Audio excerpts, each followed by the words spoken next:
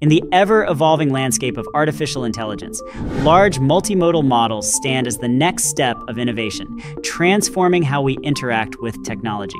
But what exactly are these models, and how do they differ from the familiar large language models?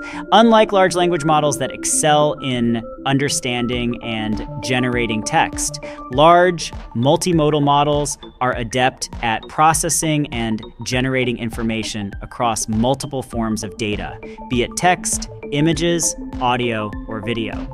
This versatility enables them to grasp more nuanced and complex inputs, leading to richer, more accurate outputs. Consider interacting with a chatbot that not only comprehends your words, but also detects emotions in your voice.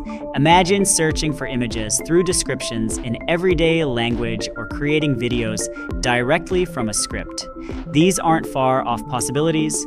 They're current realities made possible by advanced multimodal models. For developers, these models open a realm of new possibilities, making applications more intuitive, interactive, and impactful. By harnessing the power of large, multimodal models, developers can create experiences that are not just functional, but truly transformative.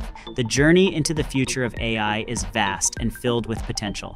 Large, multimodal models are not just a step, but a leap forward in making technology understand the world as we do.